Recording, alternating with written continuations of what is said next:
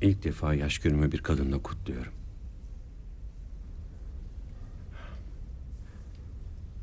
Bugün 40 yaşındayım.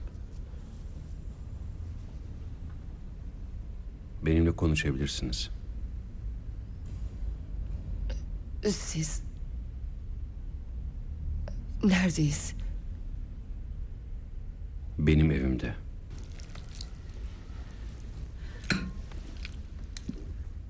Yalnız mı yaşıyorsunuz? Babamla yaşıyorum. Ya anneniz? Annem o... Annem tımarhanede. Ben çok küçükken bana eziyet ettiğini fark etmişler. Beni sıkıyordu. Beni o denli sıkıyordu ki...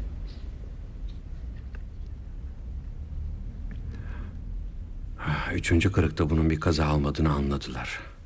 Kemiklerimi kıran oydu. Bunu niçin yaptığını hiç anlayamadılar. Bu tür şeyler normalmiş. Çocuklar bütün gün ve bütün gece ağlayınca insanlar ne yapacağını bilemezler. Sadece kendini savunamayan bir şey üzerinde gücünü kullanmak istedi bence. Kendini muktedir hissetmek için. Sanırım bu yüzden küçüklüğümüzde olanları hatırlayamıyoruz. Anne babamızın üzerinde denediği şeyleri hatırlamamak için.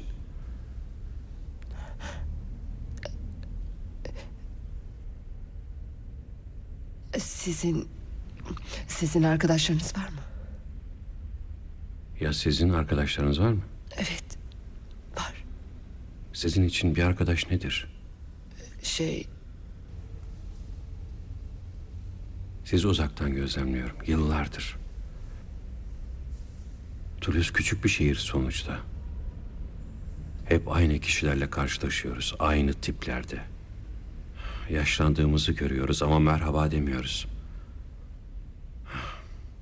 Bu sene sizi üç değişik adamla gördüm. Üç. Ben şehre indiğim zaman sizi fark ediyorum. Size bakıyorum.